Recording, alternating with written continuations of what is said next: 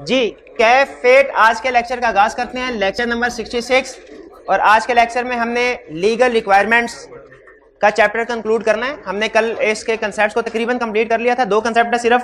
छोटे से कंसेप्ट आज के लेक्चर में हमने इनको डिस्कस करना है। एक ऑडिट ऑफ़ कॉस्ट काउंट से रिलेट करता है और एक पेनल्टी से रिलेट करता है। नॉर्मली ये कंसेप्ट आई कैप टेस्ट नहीं करता, लेकिन चूँकि सिलेबस में है, इसलिए हमने कवर करने हैं। जो जिन कंसर्ट्स की बेस पे आई क्या बार बार टेस्टिंग करता है वो हमने कल डिस्कस कर लिए थे। और इसके बाद आपको होम असाइनमेंट दी थी। आज पहले होम असाइनमेंट डिस्कस कर लेते हैं फिर उसके बाद ये जो दो छोटे से कंसेप्ट हैं इनको कवर कर लेंगे। सबसे पहले मुझे ये बताइए वॉल्यूम वन वॉल्यूम वन की होम असाइनमेंट दी गई थी आपको? Yes, और आपके साथ मैंने रिकॉर्डिंग भी शेयर कर ली थी। Yes, चलिए इसमें वॉल्यूम वन में कोई असाइनमेंट में जो आपको क्वेश्चन दिए गए थे इसमें कोई प्रॉब्लम है तो पूछ लें। क्वेश्चन थर्टीन में कोई प्रॉब्लम नहीं। और क्वेश्चन फोर्टीन में भी कोई प्रॉब्लम नहीं है। क्लियर है? चलिए अच्छा फिर इसके बाद वॉल्यूम टू में आइए। वॉल्यूम टू में आपको जो क्वेश्चन असाइन ऐसे ना कहें, कोई प्रॉब्लम नहीं है। कोई ना कोई प्रॉब्लम तो होनी चाहिए।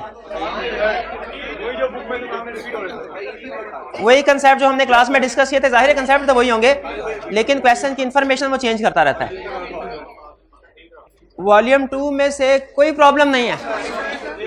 अच्छा एक minute हारिए one by one question number three three में कोई इशू क्वेश्चन थ्री में बी पार्ट कह रहे Jain and company a firm of chartered accountant has received an offer for appointment as auditor of Haris limited HL Imran a partner in Jain and company is also a partner in pure investment associates a partnership firm which owns hundred thousand share in HL अच्छा इसमें सिर्फ़ एक चीज़ नहीं है।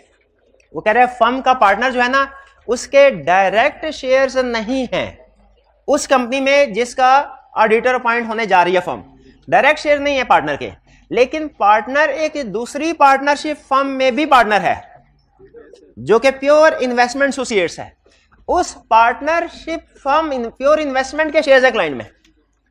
अब यहाँ पे partner का डायरेक्ट इंटरेस्ट, डायरेक्ट होल्डिंग नहीं है। लेकिन आपने अगर पार्टनरशिप बिज़नेस लॉ में पढ़ा है तो उसमें आपको कंसेप्ट याद होगा पार्टनरशिप प्रॉपर्टी जिसमें यह सीखा था हमने कि जो प्रॉपर्टी पार्टनरशिप की है। उसके ऊपर हर पार्टनर का हक है। वो हर पार्टनर की ओनरशिप में है। उसके ऊपर हर पार्टनर का हक है। तो इसीलिए एक पार्टनर एक फर्म है उसके एक पार्टनर की क्लाइंट में डायरेक्ट शेयर होल्डिंग नहीं है। लेकिन पार्टनरशिप की शेयर होल्डिंग है यानी किसी दूसरी पार्टनरशिप की। जो चार्टर जिन्होंने ऑडिट करना है उस पार्टनरशिप की शेयर होल्डिंग दूसरी की। तो लेकिन चूँकि वो पार्टनर उस दूसरी फर्म में भी पार्टनर है तो उसकी शेयर होल्डिंग का मतलब है पार्टनर की शेयर होल्डिंग ठीक है? जैसे अगर हम इसको अपने डायग्राम के ज़रिए से थोड़ा सा मुझे लग रहा है कि कम्प्लेक्स हो रहा है। डायग्राम के ज़रिए से कवर करें, ये ऑडिटर और ये फर्म ठीक है? ऑडिटर ये क्लाइंट क्लाइंट कंपनी अब बेसिकली डायरेक्टली तो इंटरेस्ट नहीं है, लेकिन ये एक दूसरी फर्म पार्टनरशिप फर्म है प्योर इन्वेस्टमेंट प्योर इन्वेस्टमेंट इसकी शेयर होल्डिंग है और एक पार्टनर फर्म का पार्टनर इसमें पार्टनर है। तो अब चूँकि ये पार्टनरशिप है पार्टनरशिप की शेयर होल्डिंग है तो इसका मतलब है इस पार्टनरशिप की जो प्रॉपर्टी है वो इन सारे, इसके सारे पार्टनर्स की प्रॉपर्टी है। जब इसके सारे पार्टनर्स की प्रॉपर्टी है तो फिर इस पार्टनर की भी प्रॉपर्टी होगी। तो ये शेयर होल्डिंग बाय पार्टनर ही समझी जाएगी। ठीक है, ये शेयर होल्डिंग बाय पार्टनर ही समझी जाएगी। इसका मतलब है वो कंडीशंस अप्लाई होंगी। कौन सी कंडीशंस कि डिस्क्लोज करना है टाइम ऑफ़ अपॉइंटमेंट और डिस्पोज करना है within ninety days of appointment जी। नहीं दोनों रिक्वायरमेंट्स पूरी करना लाजमी होता है। At time of appointment disclose करना भी लाजमी है और within ninety days dispose करना भी लाजमी है। समटाइम केस स्टडी में वो एक रिक्वायरमेंट के बारे में नहीं बताता कि at time of appointment disclose किया गया कि नहीं। तो अगर वो इसके बारे में साइलेंट है तो आप एज्यूम कर सकते हैं कि उसने at time of appointment disclose किया होगा। और आपने फिर विद इन नाइनटी डेज़ उसको डिस्पोज करने की बात करनी है। ठीक है जी? कुछ क्वेश्चन में उसने आ, ये तो बताया कि शेयर होल्डिंग है पार्टनर की। ये नहीं बताया कि टाइम ऑफ़ अपॉइंटमेंट डिस्क्लोज किया कि नहीं किया। तो हम क्या एज्यूम करेंगे? डिस्क्लोज किया गया है। ठीक है? जब कोई मसला नहीं है तो उसका मतलब है ठीक। थ्री क्लियर फोर में कोई प्रॉब्लम फोर में भी कोई प्रॉब्लम नहीं है। सिक्स सिक्स में कोई problem A B C D भी रह गया, कोई डी भी बोलते भाई। Waqar is a part comment on नीचे the following independent situation with reference to applicable rules and regulation अच्छा ये एप्लीकेबल रूल्स एंड रेगुलेशन के जो वर्ड्स है ना ये क्लियर नहीं कर रहे होंगे आपको ये कमदी एस के मुताबिक आंसर करना है कि कोड ऑफ़ एथिक्स के मुताबिक। ठीक है? तो इसका आंसर मैं आपको कोड ऑफ़ एथिक्स में जाके दूँगा कि ये रूल्स एंड रेगुलेशन का असल में मतलब क्या है। Okay, यहाँ पे चूँकि लीगल रिक्वायरमेंट्स में क्वेश्चन है तो इसका मतलब लॉ के मुताबिक हमने इसको सॉल्व करना है। Waqari the partner Sohail and company chartered accountant who the auditors of Asim limited for the year 2011 Aqib who was a partner of Waqar in 2008 in his food business has recently been appointed as a director of Wasim limited अच्छा आप ये देखिए कि जो auditor है जो auditor appoint होने जा रहा है उसके लिए रिक्वायरमेंट है कि पिछले तीन साल में कंपनी का एम्प्लॉय नहीं होना चाहिए। लेकिन जो कंपनी का एम्प्लॉय पॉइंट होने जा रहा है उसके लिए कोई प्रॉब्लम नहीं है। यहाँ पे देखिए कि जो आकिब है वो पार्टनर चाहे पास्ट में रहा हो लेकिन अब वो क्लाइंट का डायरेक्टर बनने के लिए जा रहा है। डायरेक्टर बनने के लिए कोई डिस्कालिफिकेशन नहीं है।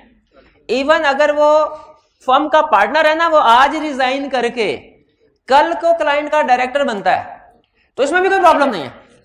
आज रिजाइन करके, भाई एथिकली नहीं बात करें, सिर्फ़ लीगल रिक्वायरमेंट्स के मुताबिक मेरे भाई बात करें, क्योंकि हमने लीगल रिक्वायरमेंट्स का टॉपिक जब एथिक्स पढ़ेंगे, उसके मुताबिक भी डिस्कस कर लेंगे। अब ये कंसेप्ट मैंने आपको समझाया ही नहीं, उसके मुताबिक एनालिसिस क्वेश्चन का कैसे कर सकते हैं?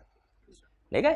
तो जो लॉ क्या कहता है कि ऑडिटर माइंड होना है ना तो पिछले तीन साल में कंपनी का एम्प्लॉय नहीं होना चाहिए। लेकिन अगर कंपनी का एम्प्लॉय या डायरेक्टर माइंड होना है, फिर उसके लिए कोई रिक्वायरमेंट नहीं किसी किस्म की क्लियर होगी ये?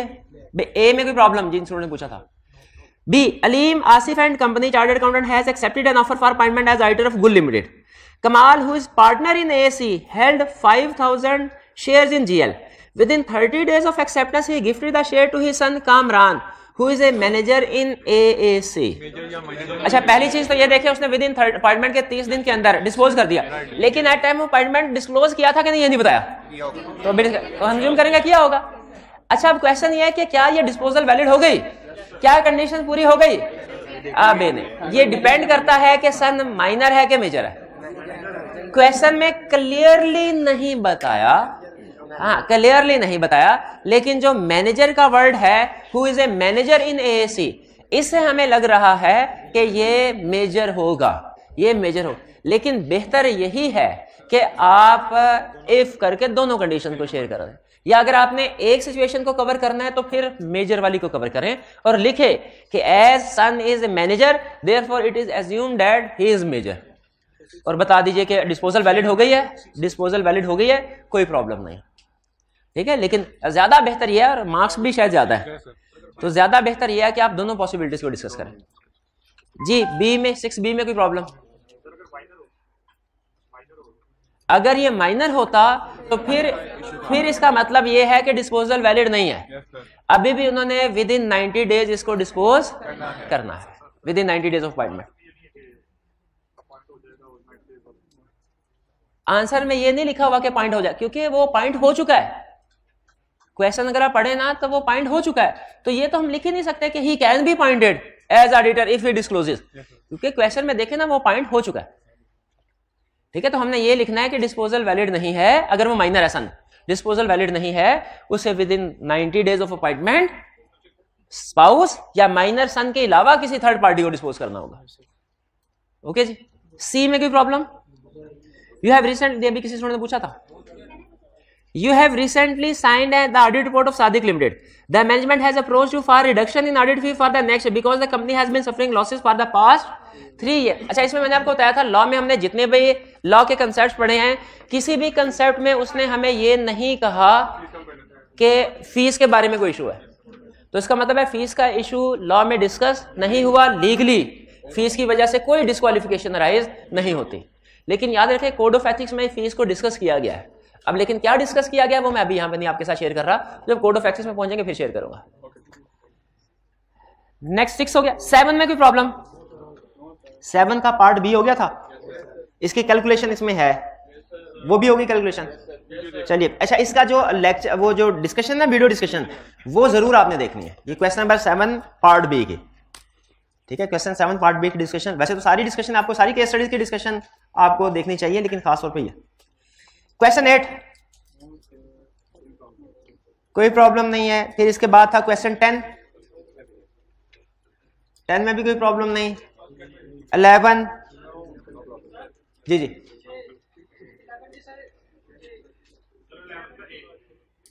इलेवन का ये? जी जी, ठीक है। अच्छा असल में कंसेप्ट ये है कि लॉ ये कहता है कि अगर आप यूटिलिटी बिल पे करना है और वो ओवर ड्यू हो जाए 90 डेज़ से। तो आप डिस्कालीफाइड है। ये तो हम सबको पता है। अब इसमें बाजुकात ऐसा होता है कि एट टाइम ऑफ़ अपॉइंटमेंट तो साठ दिन हुए हैं और अपॉइंटमेंट के बाद 90 डेज़ हो गए। अब क्या होगा? पहली चीज़ मुझे बताया अगर अपॉइंटमेंट के वक्त बिल को ओवर ड्यू हुए 60 डेज़ हुए हैं। क्या अपॉइंटमेंट हो सकती है कि नहीं? हो सकती है। अगर उसने अपॉइंटमेंट के वक्त कहा कि 60 डेज़ हुए हैं, अगले छह महीनों में इंस्टॉलमेंट के ज़रिए पेमेंट कर दूँगा। अगर अपॉइंटमेंट उसने ये एग्रीमेंट किया अपॉइंटमेंट हो सकती है कि नहीं? गलत। अपॉइंटमेंट अभी भी हो सकती है। क्या ये एग्रीमेंट करने से उसी वक्त बिल 90 डेज़ से ओवरड्यू हो गया? वो तो नहीं हुआ ना। वो तो एग्रीमेंट तो चाहे वो 10 साल का कर ले लेकिन डिस्कालीफाई तो तभी होगा ना जब नब्बे दिन हो जाएँगे। यहाँ तो यहाँ पे मसला ये नहीं है कि उसने एग्रीमेंट कितने अरसे में पे करने के लिए किया। यहाँ पे प्रॉब्लम यह है कि 90 डेज़ गुजरे कि नहीं गुजरे?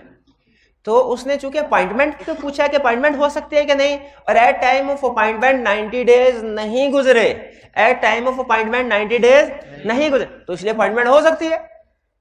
कोई प्रॉब्लम नहीं अपॉइंटमेंट हो सकती है। अच्छा यहाँ पे फिर स्टूडेंट के जहन में वो क्वेश्चन आता है जो उसने पूछा ही नहीं हुआ।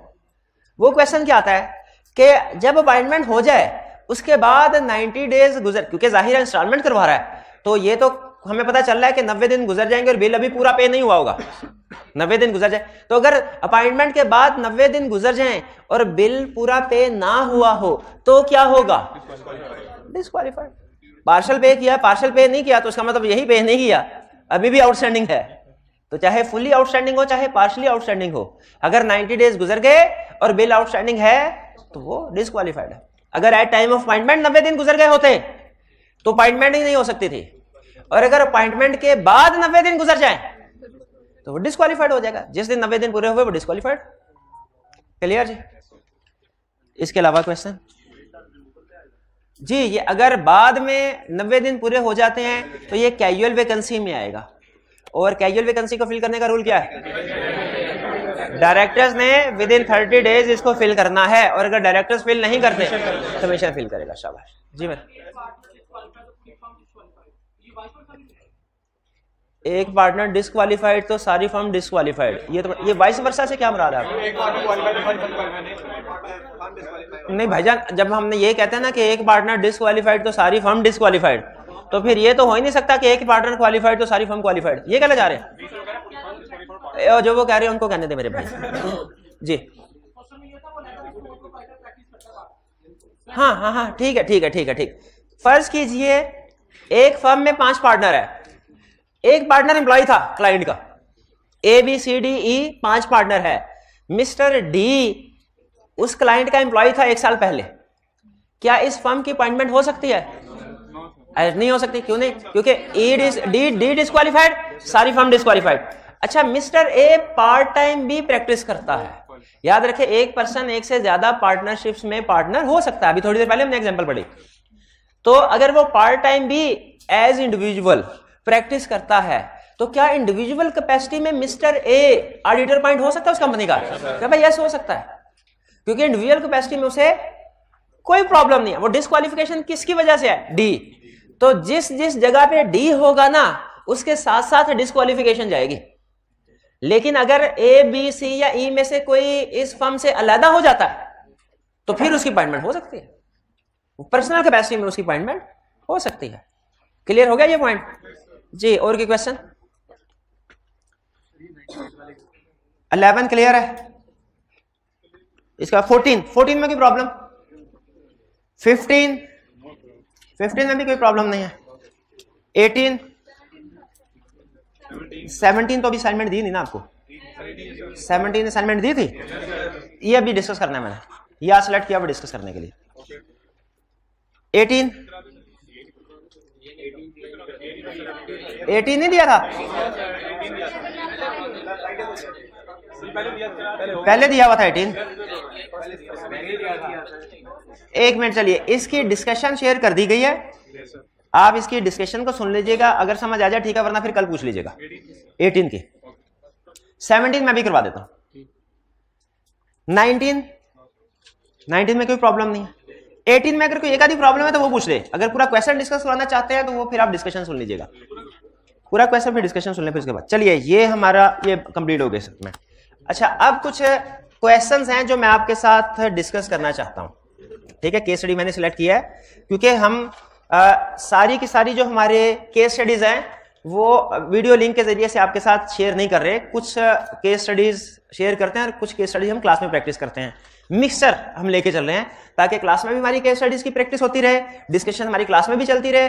बाकी जो एडिशनल केस स्टडीज़ हैं, उनकी डिस्कशन अलहदा से आपको मिलती है, क्योंकि क्लास में इतना टाइम नहीं होता कि सारे के सारी केस स्टडीज़ को हम क्लास में डिस्कस कर सके। इसलिए क्लास टाइम को मैनेज करने के लिए कुछ केस स्टडीज़ क्लास में डिस्कस की जाती है, और कुछ केस स्टडीज़ आपको अलहदा से यूट्यूब के ज़रिए शेयर की जाती है। तो अभी कुछ केस स्टडीज़ मैंने सेलेक्ट की है, उनको हम डिस्कस करते हैं। पास कीजिएगा थोड़ी देर के लिए। जी, अब कुछ केस स्टडीज़ की डिस्कशन हम करते हैं। Question number five question number five correct comment on each of the following independent situation इनमें से हर एक इंडिपेंडेंट सिचुएशन पे कमेंट करें in respect of appointment of order with reference to applicable rules and regulation देखिए applicable rules and regulation का मतलब क्या है? ये क्लियरली उसने नहीं बताया कि कंपनीज़ एक्ट के मुताबिक आंसर करना है कोड ऑफ़ एथिक्स के मुताबिक। ये पहले पुराने क्वेश्चन वो इस तरीके से ड्राफ्ट करता था एप्लीकेबल रूल्स एंड रेगुलेशन के साथ। लेकिन अब जो उसका रिसेंट ट्रेंड है, वो क्लियरली हमें बताता है कि कंपनीज़ एक्ट के मुताबिक आपने आंसर करना है या के कोड ऑफ़ एथिक्स के मुताबिक। एप्लीकेबल रूल्स एंड रेगुलेशन का मतलब ये हुआ करता था कि इस सिचुएशन पे अगर कंपनीज़ एक्ट अप्लाई होता है तो आपने कंपनीज़ एक्ट के मुताबिक आंसर करना है, और अगर इस सिचुएशन के ऊपर कोड ऑफ़ एथिक्स अप्लाई होता है तो कोड ऑफ़ एथिक्स के मुताबिक आंसर करना है। अभी तक चूँकि हमने कोड ऑफ़ एथिक्स कवर नहीं किया हुआ तो हम सभी सारी जितनी भी सिचुएशन के ऊपर डिस्कशन और कमेंट्स कंपनीज़ एक्ट के मुताबिक ही करेंगे। सबसे पहले government company chartered accountants have received a request for appointment require अच्छा रिक्वायर रिक्वायरमेंट ऊपर हो गई है? ऊपर रिक्वायरमेंट ही है। ये नीचे हाँ जी। ये ऊपर यही था, जब उसने कहा है कि comment comment on each of the following independent situation ये रिक्वायरमेंट ही थी। A government company chartered accountants have received a request for appointment as auditor of orange bank limited OBL Most of the partners of government company maintain their accounts with OBL and are enjoying credit card facilities from them. Maximum outstanding balance on the credit card facility due from any partner is 899,000. तो मेरा ख्याल है नहीं अगर aggregate करेंगे तो one million से exceed हो जाए एग्रीगेट नहीं करना क्रेडिट कार्ड में अलहदा से ही हमने अरे की लिमिट देखनी है तो चूँकि हर पार्टनर की क्रेडिट कार्ड की लिमिट वन मिलियन से कम है, इसलिए फर्म की अपॉइंटमेंट हो सकती है ऑरेंज बैंक लिमिटेड में। इसमें कोई प्रॉब्लम है में next apricot and company chartered accountant have received an offer for appointment as auditor of banana limited mister pumpkin who is a nominee director of the government on the board of directors of banana limited holds 25% shares in watermelon limited. Spouse of a partner also holds shares in watermelon limited. अब देखिए question में दो companies आ गई। जहाँ पे दो companies आ जाए ना, मेरे लिए क्वेश्चन मुश्किल हो जाता है। आपके लिए भी मुश्किल। चलिए, ठीक है। तो यहाँ पे अब हम क्या करते हैं? स्ट्रक्चर बना लेते हैं।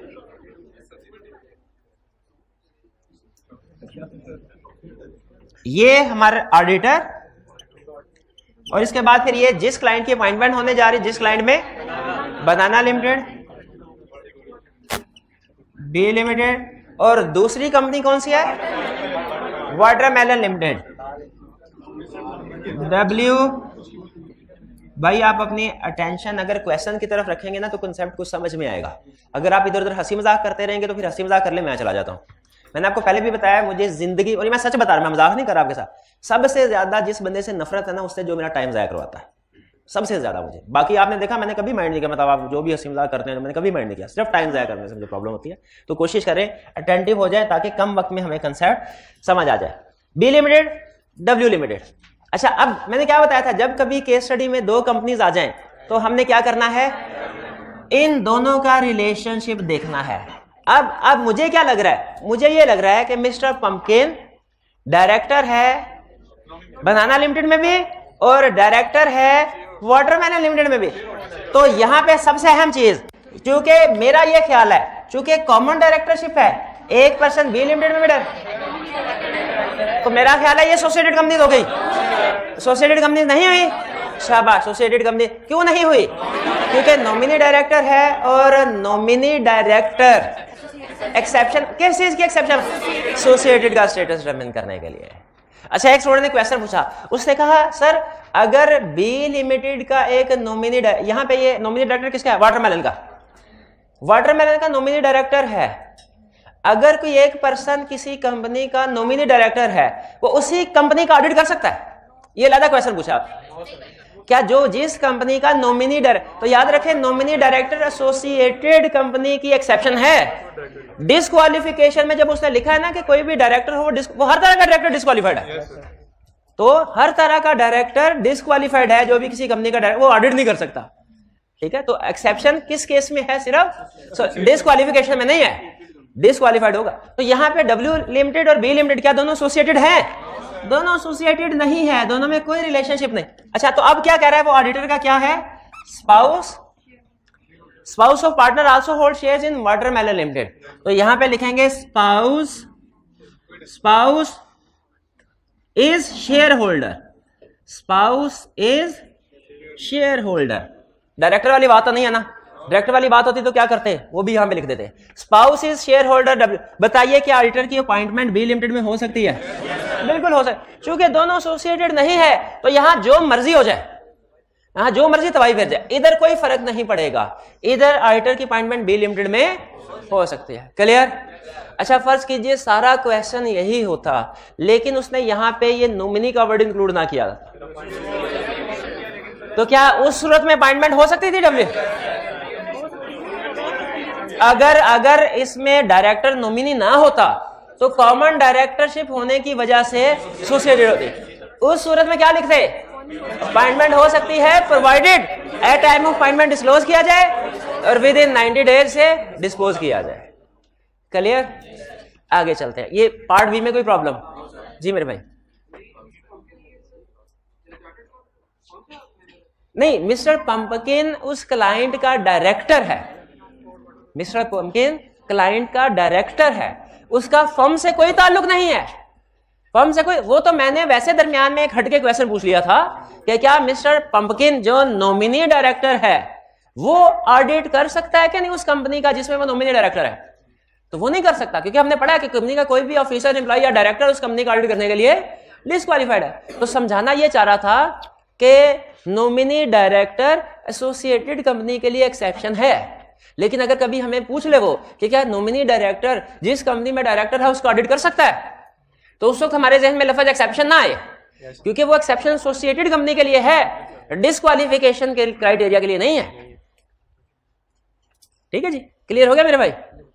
आगे चलते हैं next C Mr. Zahir, a legal practitioner, has received an offer for appointment as external auditor of Lychee Private Limited, LPL.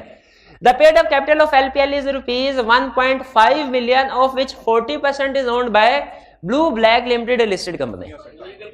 Mr. Zahir की अपॉइंटमेंट हो सकती है क्या? नहीं हो क्यों?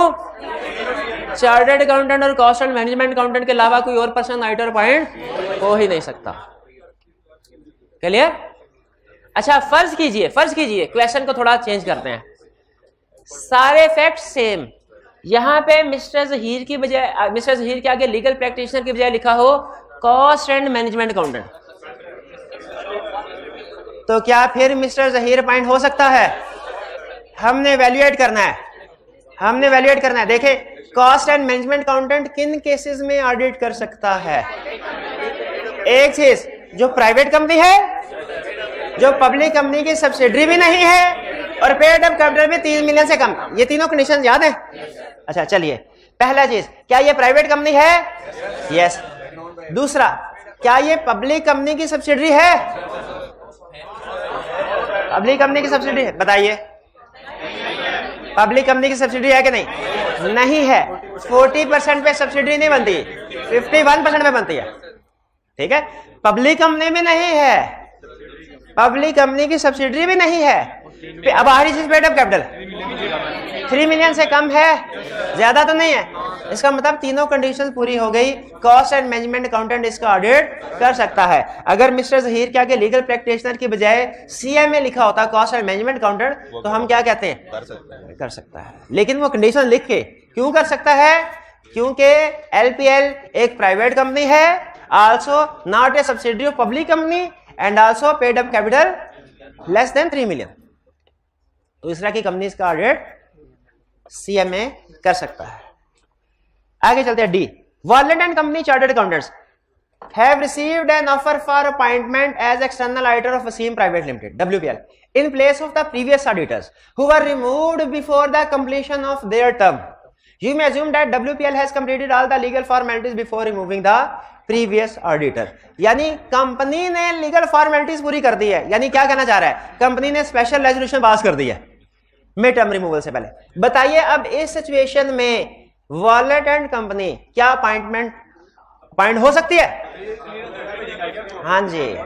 अपॉइंट वो ऑफ़र को एक्सेप्ट नहीं कर सकती, जब तक के आई कैब को प्रोफेशनल क्लियरेंस लेटर ना सेंड कर दे। और नॉर्मली आई कैब कितने दिनों में? 15 डेज़ में क्लियरेंस लेटर इशू कर देता है। ये डी क्लियर हो गया।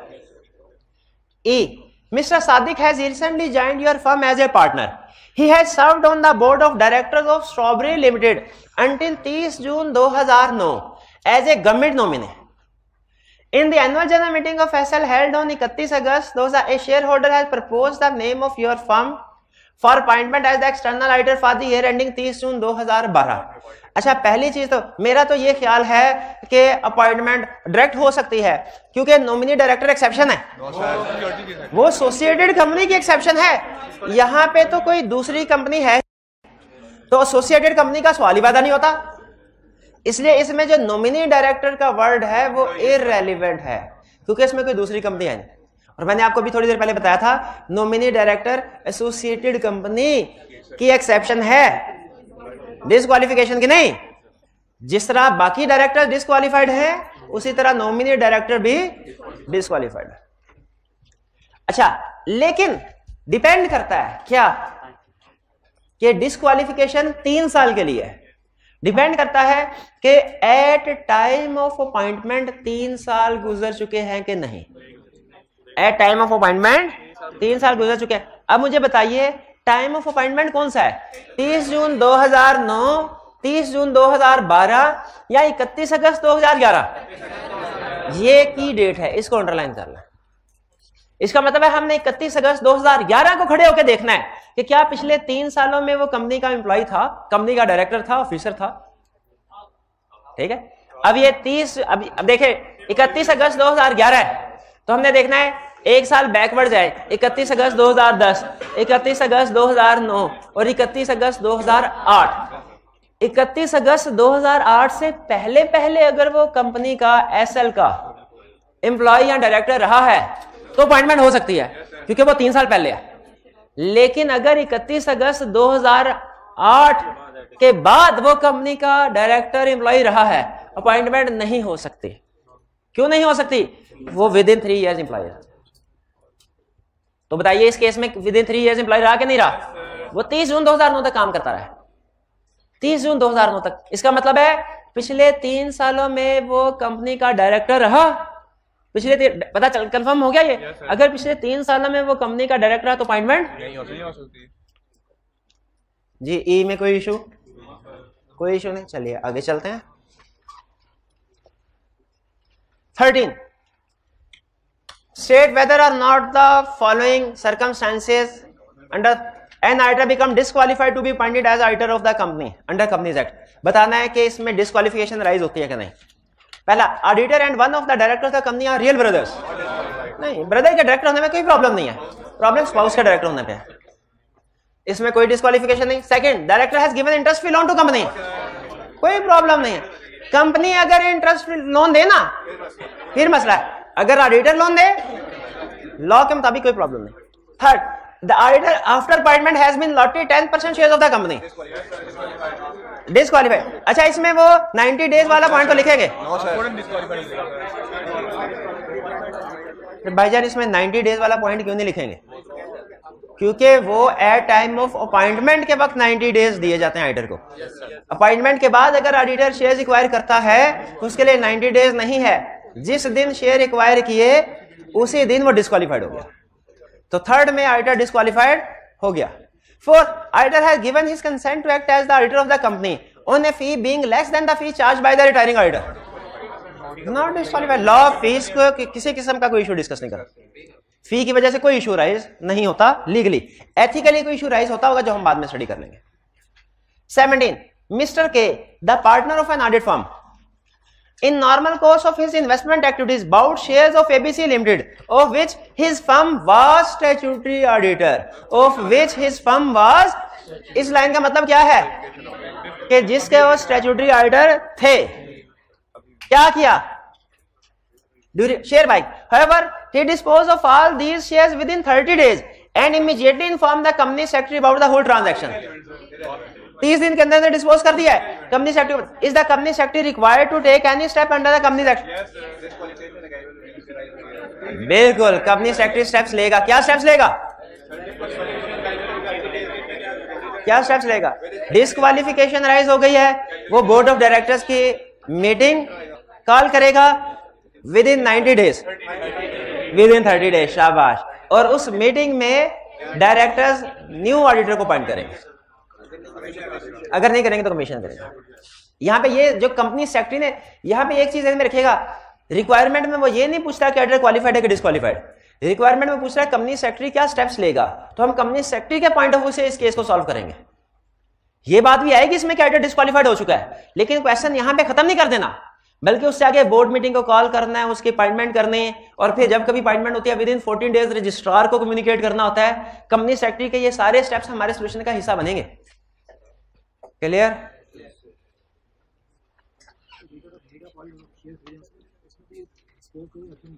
हाँ मिड ऑफ़ द ऑडिट अगर वो शेयर्स बाय करता है कोई ऑडिटर उसमें डिस्पोजल की कोई ऑप्शन या टाइम नहीं है। जिस दिन खरीदे, उसी दिन डिस्कालीफाई ट्वेंटी सिक्स भाई देख रहे हैं ना बाद में आपके सर पहले रिक्वायरमेंट पढ़ लें। कह रहे हैं in the light of company that 2017 comment on each of the following independent scenarios ये रिक्वायरमेंट है कि कमेंट करना है और किसके मुताबिक कमेंट करना है बताया था रिसेंट ये वो बता रहा होता है कि कंपनीज़ एक्ट के मुताबिक आपने आंसर करना है यहाँ के कोड ऑफ़ एथिक्स के मुताबिक आंसर करना है सबसे पहले partners of Ubaid and company chartered accountants have authorized Zahra who is a chartered accountant, to sign the audit report of Tufal Limited. Zahra is a manager in the firm and has been managing the audit of Tufal Limited for a number of years.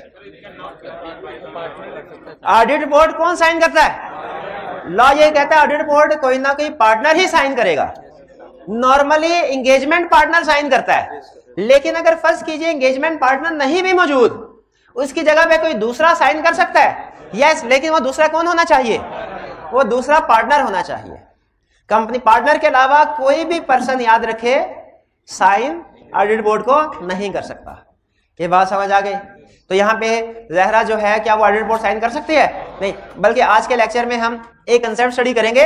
अगर partner के अलावा कोई और board को sign करे, यानी sign करते हुए लॉ की रिक्वायरमेंट्स को इग्नोर कर दिया जाए लॉ की रिक्वायरमेंट के खिलाफ रिपोर्ट साइन की जाए लॉ कहता है पार्टनर साइन करे। पार्टनर के अलावा कोई और साइन कर देता है, उसे सजा मिलती है। सजा क्या मिलेगी आज के लेक्चर में हम पढ़ेंगे। क्लियर इसमें कोई प्रॉब्लम कोई प्रॉब्लम नहीं है इसमें। आगे चलते हैं बी की तरफ़। पार्ट बी क्या कहता है? जी।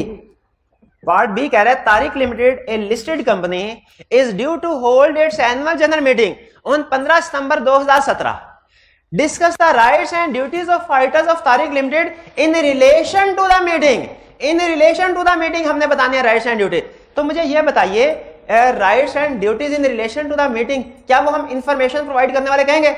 बताएँगे? क्या ऑडिटर का राइट है मैनेजमेंट उसे इंफॉर्मेशन प्रोवाइड करे, वो कंपनी के एम्प्लॉय से भी इंफॉर्मेशन ले सकता है सब्सिडरी कंपनी के एम्प्लॉय से भी इंफॉर्मेशन ले सकता है। ये लिखेंगे? क्यों नहीं लिखेंगे? क्योंकि क्वेश्चन क्लियरली कह रहा है कि जो मीटिंग हो रही है मीटिंग के हवाले से लिखे। तो आपको याद होगा, हमने जो कंसेप्ट पढ़ा था ना राइट्स वाला, वो दो हिस्सों में डिवाइड किया था। एक था राइट इंफॉर्मेशन वाला और दूसरा था मीटिंग वाला। तो यहाँ पे मीटिंग वाले मीटिंग का क्या राइट है? कि ऑडिटर इस मीटिंग को उसका नोटिस मिलेगा। Right to receive notice right to attend right to speak on audit related matters right to make representation in writing चार राइट हो गए। और, और ड्यूटीज़ क्या थी ड्यूटीज़ ड्यूटीज़ क्या थी मीटिंग के हवाले से? क्या प्रेजेंट होना ड्यूटी है? अगर लिस्टेड कंपनी का केस हो और रिप्रेजेंटेशन हो दी गई हो उस सूरत में प्रेजेंट होना लाजमी है। ड्यूटी है उसकी। नॉर्मली तो ये आइटर का राइट होता है ना एजीएम में उसने अटेंड करना आइटर का राइट होता है ना, किस सूरत में ड्यूटी बन जाता है? किस सूरत? भाईजान, आवाज़ आ रही होती है। आप लोग बातें ना, शोर ना मचाया करें, आवाज़ आ रही होती है। तो अगर अगर किस सूरत में ड्यूटी बन जाती है ये?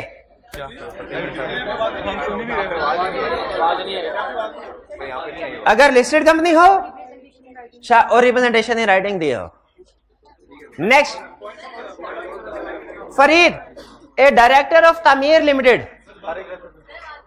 got married to Hira a chartered accountant Hira is a senior employ of Salman and company chartered accountants who are also the auditor of Tamir limited बताइए डिस्कालिफिकेशन हुई कि नहीं हुई जी। डिस्कालिफ spouse of partner is director याद है आपको? तो यहाँ पे मुझे यह बताइए कि जो हीरा है, वो पार्टनर नहीं है एम्प्लॉय है।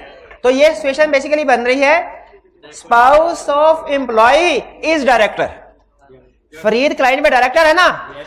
और सीएफएम में कौन है हीरा? हीरा हीरा की पोजीशन क्या है? एम्प्लॉय तो ये सिचुएशन क्या spouse of employ is director in company तो spouse of employ is director से डिस्कालिफिकेशन राइज नहीं होती डिस्कालिफिकेशन कब राइज होती है? Spouse of partner is director के केस में। तो यहाँ पे हीरा वाले केस में डिस्कालिफिकेशन राइज क्यों भला? हीरा एम्प्लॉय क्या होता तो डिस्कालिफिकेशन राइज हो जाती?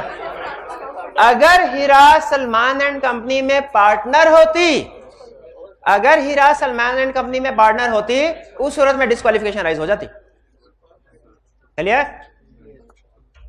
next D brass limited wants to point Zafar and company chartered accountants as their statutory auditor one of the partners in company had served on the board of Brass limited for many years as a government nominee वो पिछले कई सालों तक सर्व करता रहा है।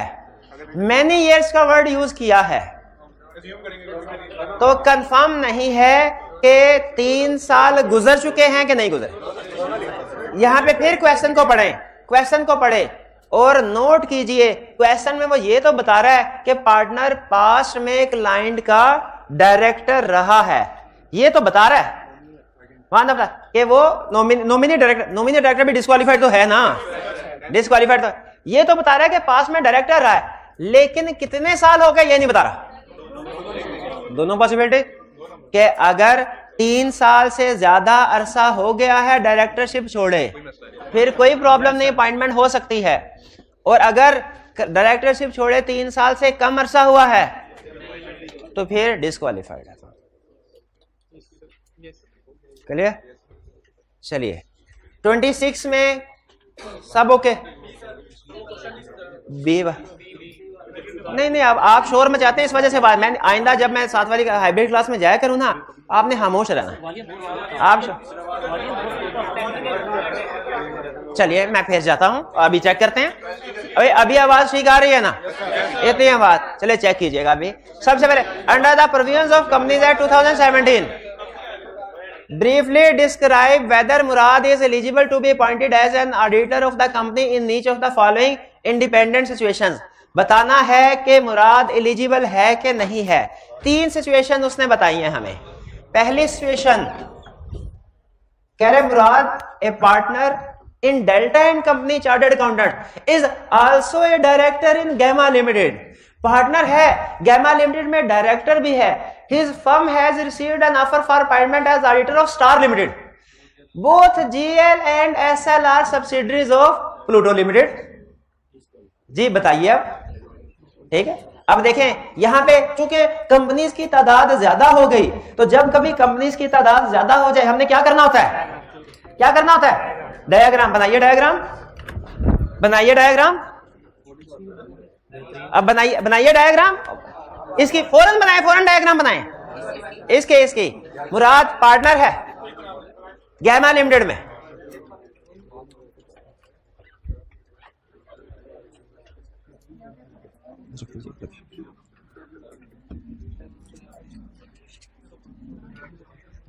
जी, ये auditor किस कंपनी के लिए अपॉइंटमेंट होने जा रही है? स्टार लिमिटेड एसएल के लिए एसएल के लिए। और दूसरी कंपनी कौन सी है? डायरेक्टर इन गैमा लिमिटेड ये जीएल और both GL and S subsidiaries of PR ये दोनों सब्सिडरीज हैं किसकी? लूडो के। ठीक है? अच्छा अब जरा सोचिए, अब अब वो लाइन जो आपने नहीं पढ़ी होगी। ऑडिटर कहाँ पे डायरेक्टर है? अभी अभी ये सेशन कंप्लीट नहीं हुई। अपॉइंटमेंट होने जा रही है एसएल में। और पार्टनर पार्टनर अच्छा क्वेश्चन ये। Partner is director partner is director partner अच्छा जीएल में डायरेक्टर है पार्टनर तो ये फर्म जीएल के लिए डिस्कालीफाइड है? जब जीएल के लिए डिस्कालीफाइड तो इसकी होल्डिंग सब्सिडरी और होल्डिंग की अदर सब्सिडरी के लिए भी डिस्कालीफाइड ये ये होल्डिंग अदर सब अच्छा बताइए, सच बताए किसने ये पढ़ा था? होल्डिंग भी सब्सिडरी भी, और तीसरा होल्डिंग अदर सब्सिडरी जिसने पढ़ा था उसने केस कर लिया। जिसने नहीं, जिसने सिर्फ़ होल्डिंग सब्सिडी पे कह के आगे बढ़ गया, उससे ये केस सॉल्व नहीं हुआ होगा। उसने कहा होगा, ये तो एसोसिएटेड हैं। उसने क्या कहा होगा, ये तो एसोसिएटेड हैं और एसोसिएटेड में कोई प्रॉब्लम नहीं है। हालाँकि होल्डिंग सब्सिडरी उसके आगे और भी है। होल्डिंग ज़्यादा सब्सिडरी तो डिसक्वालिफाइड अपॉइंटमेंट नहीं हो सकती। एक क्लियर हुआ? नहीं समझ आई। Second Murad is sole proprietor in Murad and company chartered accountants He has received offer for appointment as auditor of Super Energy Limited, a power generation company in Multan. Power generation. Murad has not paid his electricity bill to SL for the last two months. No issue. Appointment हो सक क्यों हो सकती है 90 days नहीं गुजरे लेकिन appointment के बाद उसे अलर्ट रहना पड़ेगा एक एक दिन गिन के गुजारना पड़ेगा कि 30 दिन से पहले पहले पैसे जमा करके बिल अदा कर दे क्लियर बी में अपॉइंटमेंट थर्ड अच्छा ये थर्ड वाला केस मैंने किसी जगह पे आपसे हल्का सा इसका तस्करा भी किया था। Murad is a partner in Beat and company chartered accountants his firm has accepted has accepted has accepted offer for appointment as auditor of Panama limited Rita who is Murad sister is working as an internal auditor in BL ये तो इधर ही खत्म हो गया डिस्काली हाँ sorry disqualification तो होती है। Spouse of partner is director ये तो केस बन रहा है। Sister of partner is employ employ ये तो सिस्टर की वजह से भी कोई प्रॉब्लम नहीं, और एम्प्लॉय की वजह से भी। लेकिन कहानी अभी खत्म नहीं हुई। She also owns twenty percent share in PL कोई प्रॉब्लम है? कोई प्रॉब्लम नहीं थी। अब कैसे हुई? Rita dispose the share to Raj wife within 30 days of appointment of BCC, but continues to remain employed. हाँ रिटर्न जैसे आप भी अपने किए पे पानी फेर देते हैं कभी आई कैब के पेपर में बैठ के पेपर कर रहे हो कोई क्वेश्चन अच्छा भला आता हो। अच्छा करके बाद में जहन में आने नहीं लगता मैंने गलत किया तो क्रॉस कर देते हैं। ऐसे कभी नहीं करते? ऐसे करते हैं ना? सही क्वेश्चन भी कभी कभी क्रॉस हाँ उसने भी यही किया सही काम कर रहे थे कोई प्रॉब्लम नहीं थी। अब जब उसने डिस्पोज किया शेयर्स को, किसको डिस्पोज किया? स्पाउस को। तो जिस दिन डिस्पोज किया कैजुअल वैकेंसी राइज हो गई शेयर्स को डिस्पोज किया, ये कह रहा हूँ। भाई क्लियर हो गया ये? चलिए, ये थे हमारे क्वेश्चंस जो कि वीडियो डिस्कशन में मौजूद नहीं थे। हमने इनको कंप्लीट कर लिया। भाई, अभी कोई टाइम नहीं। भाई, अभी तो वो प्राइस बाकी है, जिन स्टोर ने असाइनमेंट की थी। भाई असाइनमेंट हो गई चेक ये सारी असाइनमेंट चेक हो गई। सारी हो गई सबकी। चले बताइए, ये ये भाई इनकी हाँ आइए। ये भाई इनकी असाइनमेंट पूरी थी? इन भाई जान की। कौन सी असाइनमेंट थी भाई?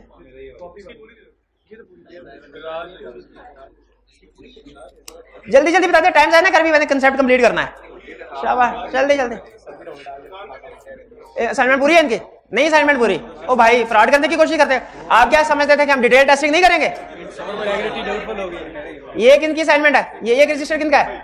इनकी असाइनमेंट पूरी है? असाइनमेंट पूरी है इनकी? पूरी असाइनमेंट है? शाबाश शाबाश। जी, आगे अगला रजिस्टर जल्दी जल्दी, शाबाश शाबाश। जल्दी कर। मैं तो समझ रहा था पूरी क्लास असाइनमेंट करके आएगी। जी भाई, जल्दी ये एक क्वेश्चन कोई बात नहीं। अब next time next next assignment इनकी पूरी है। इनकी भी पूरी नहीं है। ऐसे लग गया। ए, छोटा सा क्वेश्चन तो कर क्यों नहीं लिया, छोटा सा क्वेश्चन ये किन की ये किन की असाइनमेंट है? ये वो किन की असाइनमेंट ये कंप्लीट है? शाबाश, ये भाई का प्राइज है शाबाश है कंप्लीट है। हाँ जी। एक क्वेश्चन जब मैंने कंप्लीट असाइनमेंट कहा था मतलब कंप्लीट असाइनमेंट जी, इनकी असाइनमेंट इनकी असाइनमेंट भी कंप्लीट नहीं है। एक क्वेश्चन नहीं किया। एक क्वेश्चन नहीं किया। इन्होंने टेस्ट नहीं किया। टेस्ट नहीं किया। इनकी कंप्लीट है? इनकी भी कंप्लीट ये लीजिए। शाबाश शाबाश। ये भाई को दीजिए भाई। शाबाश। कंप्लीट है इनकी?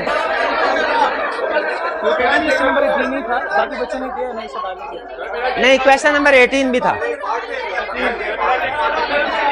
बस नहीं बस टाइम ज़ाया ना कीजिए। बस कर। देखिए, जब कंप्लीट असाइनमेंट कहा तो उसका मतलब कंप्लीट है। क्वेश्चन नंबर एटीन नहीं था? अब आप टाइम ज़ाया करेंगे। भाई एक मिनट कोई शरीफ आदमी, देखिए। मेरे भाई, ये एक मिनट है क्वेश्चन नंबर एटीन था असाइनमेंट में। भाई ऐसे शोर ना मचाए। ना ना ना, ऐसे ना करें। ऐसे शोर ना मचाए। शोर आपके शोर मचाने से थोड़ी मैं यकीन कर लूँगा। आपके पास एविडेंस तस्वीर तस्वीर में? है जिसमें क्वेश्चन नंबर एटीन नहीं था? हाँ नहीं था।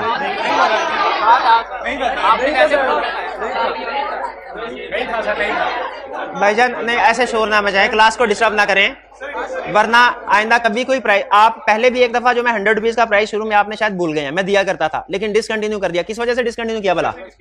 किस वजह इसी वजह से डिसकंटिन्यू किया इसी वजह से। कि जो मकसद होता है ना जब किसी चीज़ का फ़ायदा कम और नुकसान ज़्यादा होना शुरू हो जाए ना फिर उसका डिसकंटिन्यू कर देना बेहतर होता है। तो आप जब इस तरह क्लास को में प्रॉब्लम क्रिएट करेंगे अब मैंने एक्सप्लेन करना था कंसेप्ट लेकिन आपके शोर मचाने में वही चीज़ ये, ये देखिए एविडेंस है ना वो पिक्चर है उनके पास पूछा पता चल गया। लेकिन आप शोर में चाहते हैं तो फिर प्रॉब्लम होती है। फिर मैं, मैं खुद डिस्टर्ब होता हूँ उससे। तो कोशिश किया करें कैसे ना किया करें। क्या एटीन नहीं था? शाबाश। ठीक है ठीक है आपका प्राइस हाँ जी। नहीं कोई बात नहीं कोई बात ये लीजिए प्राइस दीजिए। शाबाश शाबाश। चलिए अब वापिस आते हैं। अब हम नेक्स्ट हमारा नहीं असाइन असल में। मैं भी अब डेली बेस पे थोड़े दूँगा बैंक थोड़ी होना मैंने। लेकिन चूँकि असाइनमेंट ज़्यादा थी तो मैं देखना चाह रहा था कितने स्टूडेंट ऐसे हैं जो कमिटेड हैं असाइनमेंट के साथ सब्जेक्ट के साथ। तो इसलिए नेक्स्ट टाइम जब असाइनमेंट ज़्यादा होगी तो रैंडमली सरप्राइजिंगली मैं किसी भी दिन आपके साथ फिर प्राइस शेयर हो सकता है। लेकिन बताऊँगा पहले से नहीं बताऊँगा ज़ाहिर चलिए अच्छा अब चलते हैं हम अपने कंसेप्ट की तरफ़।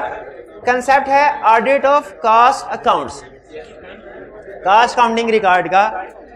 ऑडिट टाइम चलिए ठीक है फिर आ, कल कल आज ये कंसेप्ट कास्ट काउंटिंग रिकॉर्ड वाला फिर कल के लेक्चर में रख लेते हैं। आज का लेक्चर यहाँ पे हम खत्म करते हैं। अल्लाह हाफिज।